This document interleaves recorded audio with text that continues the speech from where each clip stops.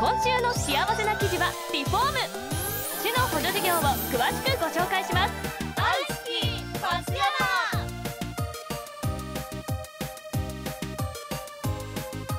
幸せリフォームしたいところってどこかありますか？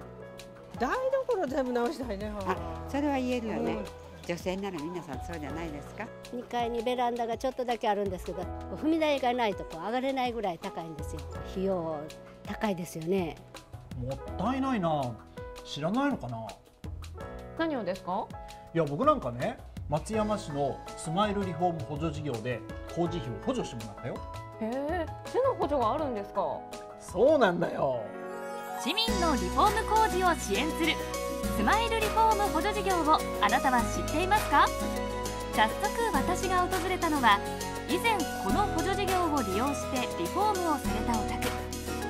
日々暮らしていく中で狭くて段差のある風呂場に悩まされていた大場さん。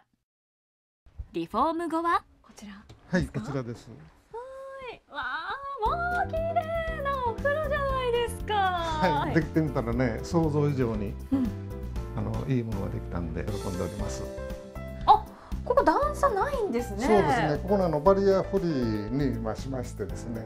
でそれとあと省エネですね。うんシステムにしましたもんで、まあこの断熱効果がいいと。大場さん宅のリフォームはバリアフリー化省エネルギー化耐震工事このスマイルリフォーム補助事業によって35万円の補助を受けることができましたコーヒーハウスを経営している堀さん。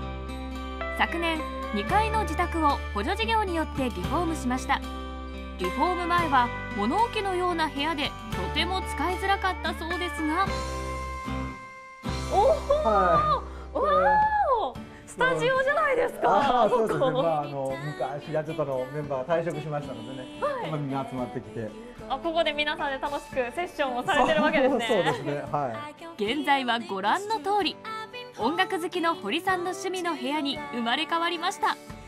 堀さん宅のリフォームはバリアフリー化省エネルギー化このスマイルリフォーム補助事業によって35万円の補助を受けることができました補助金額について詳しく教えてください。はい。補助金額は30万円以上の工事を対象に工事費の10%で上限額は30万円です。また松山市の木造住宅耐震工事補助に該当する場合や工事費が20万円以上のバリアフリー化工事と省エネルギー化工事。今年度から新たに平成26年1月1日以降に購入した中古住宅をリフォームする場合などを対象にそれぞれ10万円の加算があります。これらの補助金制度を全部利用したら最大70万円の補助が受けられるということですね。そうですね。申請するにあたって何か注意点はありますか？はい。工事の着工前に申請をしていただく必要がありますのでお気をつけください。申請書は住宅課支所サービスセンター市ホームページにあります受付期間内に住宅課まで提出してください。また事業申請に関するお問い合わせはこちらへご連絡ください。松山市スマイルリフォーム補助事業。あなたもぜひ利用してみませんか？